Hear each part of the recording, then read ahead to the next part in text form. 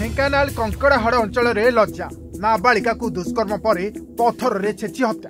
ନିଖୋଜ ନାବାଳିକାର ମୃତଦେହ ଦିନକ ପରେ ଉଦ୍ଧାର ଏଭଳି ଲମହର୍ଷଣକାରୀ ଘଟଣା ଘଟିଛି କଙ୍କଡ଼ାହାଡ଼ ଥାନା ଅଞ୍ଚଳରେ ଜଣେ ପାଞ୍ଚ ବର୍ଷର ନାବାଳିକାକୁ ନିର୍ମମ ଭାବେ ହତ୍ୟା କରାଯାଇଛି ଦୁଷ୍କର୍ମ ପରେ ପଥରରେ ଛେଚି ହତ୍ୟା କରାଯାଇଥିବା ଅଭିଯୋଗ ହୋଇଛି କଙ୍କଡ଼ାହାଡ଼ ଅଞ୍ଚଳରେ ଗତ ବାର ତାରିଖ ଦିନ ଜଣେ ନାବାଳିକା ନିଖୋଜ ହୋଇଯାଇଥିଲା ଖେଳିବାକୁ କହି ବାହାରକୁ ଯାଇଥିବା ନାବାଳିକାର କୌଣସି ସନ୍ଧାନ ମିଳିନଥିଲା পরিবার লোকে বহু খোঁজাখুঁজি করিtile বন্ধু বান্ধবক সহ পাখো গার মধ্যে পচারি বুজিtile হেলে দিন পরে নিখোজ দিবা পাঁচ বছর ধিয়র বহরস্থে